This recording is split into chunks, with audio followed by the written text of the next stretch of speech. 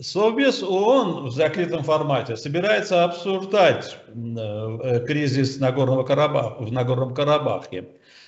Ожидайте какое-либо решение от Совбеза? Вы знаете, а, а, от Совбеза будет решение. Я объясню вам почему. Почему я уверен, что оно будет. Потому что Совбез – это организация, которая очень, как бы вам сказать, она очень недовольна вот этой двойной, тройной, вот этой попыткой, попыткой э, турецко-азербайджанской связки усидеть попытка на двух, на трех стульях. Совбез очень недоволен этой историей.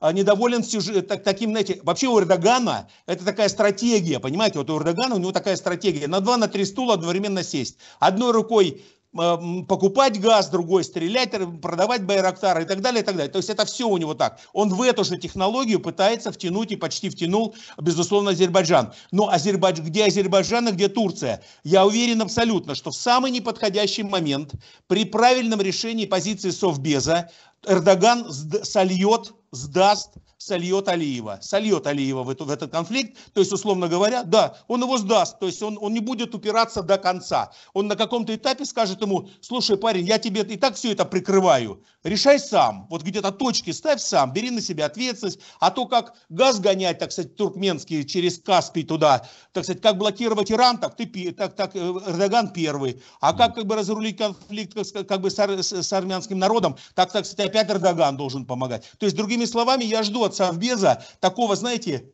тихого, такого дипломатического одергивания э, э, значит, э, азербайджанской стороны на предмет, ребят, вы как бы сильно-то там не наглейте, потому что как бы Армения тоже, так сказать, с Арменией весь мир не меньше, чем с вами.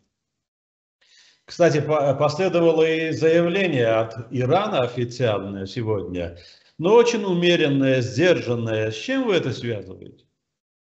Слушайте, да, дело в том, что Ирану самому выживать надо. Иран сам находится в состоянии постоянного перманентного конфликта, он и весь мир. И поэтому, безусловно, он, э, как бы, его задача какая? Смотрите, Иран, конечно же, находится в сцепке идеологической, военной, финансовой, э, логистической. Он находится в сцепке, безусловно, с Россией. А, и все плотнее и плотнее. И, соответственно, через Иран мы тоже можем влиять, мы тоже можем совместно, так сказать, влиять на разрешение конфликтов в пользу выгодную и, и, и правильную с точки зрения ар, а, армянского народа. Это очень важный момент. А повторяю, что мы боремся. Вот я хочу, чтобы еще у нас наши зрители с вами услышали нас с вами в сегодняшнем разговоре. Это не ар, армяно-азербайджанский конфликт.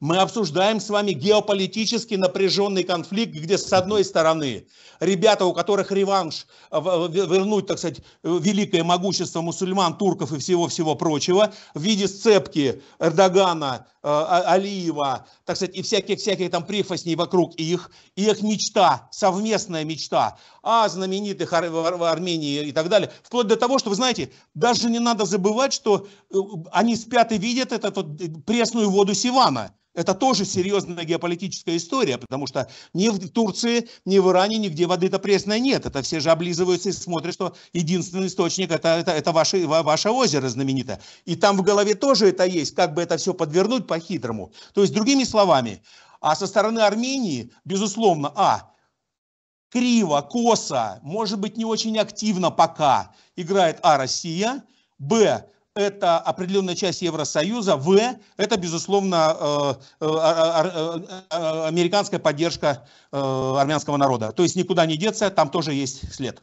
Да, кстати, вы, наверное, уже знаете, Евросоюз планирует размещать долгосрочную миссию наблюдателей в Армении. Вы думаете, это связано с латинским кризисом? я думаю, что Евросоюз очень хочет выступить оператором этого разрули, раз, разрулежки этого конфликта. Понимаете? То есть евро... Сейчас, смотрите, вот на каком-то этапе вашего конфликта между Арменией и Азербайджаном, либо вот такого большого конфликта регионального, так сказать, э, все боролись за что? как, сначала была реакция такая, какая сторона более правая, исторически, ге, финансово, географически, Армения, либо Азербайджан. Потом все поняли, что если пойти по этому, это тупик. В этом не договориться. Об истории вопроса не договориться. Надо договариваться в режиме нынешнего времени. А нынешнее время всем, всем очень нравится. В том смысле, что и Армения потенциально очень мощная страна по экономике, по всем штукам и так далее. Поэтому, конечно, сейчас началась борьба. Новый этап э, Карабахского конфликта – это то, что борьба началась, кто будет оператором, кто решит этот конфликт в сторону, которая обоюдно устроит обе стороны конфликта. И поэтому Евросоюз, наблюдатели, они, конечно же, будут лезть, чтобы стать операторами и гениальными стратегами, разрулявшими этот, этот конфликт. Вообще реакция международных структур отдельных стран может повлиять на разрешение этой ситуации? Я думаю, абсолютно может. Сегодня коллективный разум, сегодня коллективный разум это более важная история, чем, чем как бы одна, одна, страна, пусть абсолютно правая. Ну, извините, то есть я считаю, что э, серьезная поддержка Армении вот на всех геополитических уровнях, европейский, э, заатлантический, э, значит, извините, э, это, это серьезная поддержка. То есть для Армении сегодня важен, конечно, коллективный разум. Вот коллективная поддержка, коллективное такое, коллективное разрешение армянского конфликта с, с азербайджанцами, конечно, это серьезная поддержка будет вам. Мы немало осуждающих заявлений получаем и от Вашингтона в последние дни. Вы думаете, лачинский кризис входит в интересы США? Абсолютно точно входит. Абсолютно точно входит, конечно. То есть американцы, ну, во-первых, давайте начнем с, с, с, с, с простого американцам они совершенно не понимают до конца вообще как бы вот этот кавказский узел. Они в нем пытаются разбираться и не понимают. У них есть картинка со стороны со стороны э, э, как бы такого тюркского мира, да, со стороны, что хочет Эрдоган, что хочет азербайджанцы. Но у них совершенно притупленная картинка с этой стороны, со стороны Армении, со стороны вот этого коллективного, коллективного э, что ли, ну, что ли, выгодоприобретателя армянского. И поэтому, конечно же, они хотят. Во-первых, это Кавказский узел. Во-вторых, это, ю, это ближайшая точка для Средиземного моря, для э, Черного моря и так далее. То есть, конечно, за, это, за эту точку будут бороться. Э, на саммите э, СНГ, э, который состоится, неформальный саммит в Санкт-Петербурге. Перед Новым годом, да? Да, да. Возможно встреча лидеров трех стран, если до этого не разрешится ситуация в Нагорном Карабахе? Сто процентов будет встреча в Петербурге, сто процентов будет Пашинян, Алиев. Несмотря Путин... на ситуацию в Лачинском. Несмотря на ситуацию несмотря на ситуацию.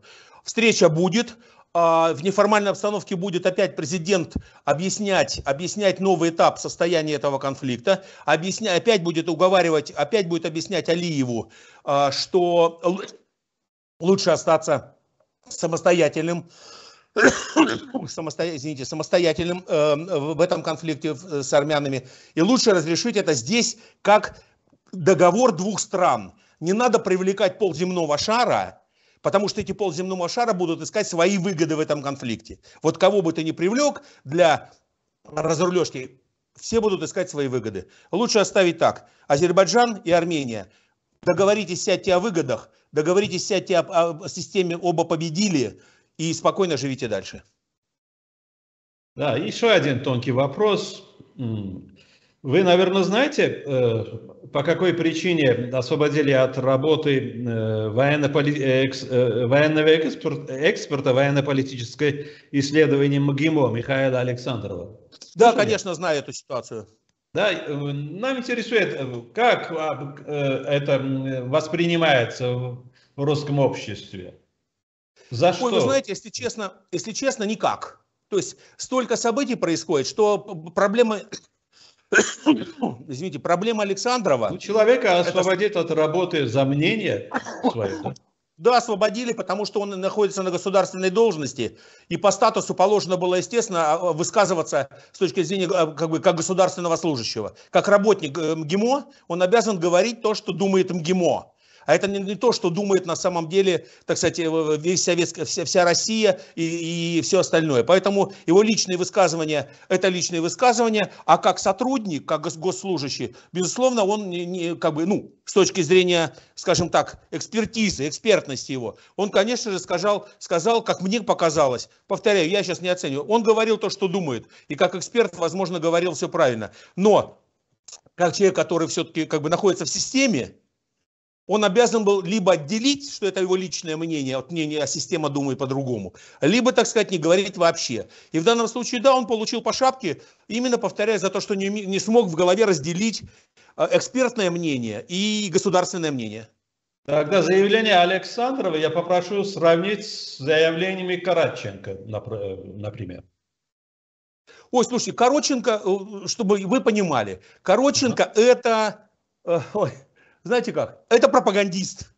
Короченко это человек такая, знаете, он, он может говорить от минус 100 до плюс 100. Он может говорить о проблемах пингвинов на юге, на юге земного шара до проблем, так сказать, в, в, в Арктике э, по Северному морскому пути. То есть, другими словами, Короченко это хороший публичный, публичный как бы человек, но это не Э, это, безусловно, человек, который владеет такой, знаете, горизонтальной, как я говорю, экспертизой. Это не углубленная экспертиза, не понимание внутренней э, э, пружины конфликта Карабахского и так далее, и так далее. То есть это человек, знаете, как, ну вот то, что называется э, умный, умный обо всем. Вот умный обо всем. Если Александров погружен экспертно, он читает много документов, если, так сказать, он в теме, как говорится, да, то Короченко, конечно, он, он во всех темах, э, значит, по Википедии, такая ходячая Википедия политических знаний.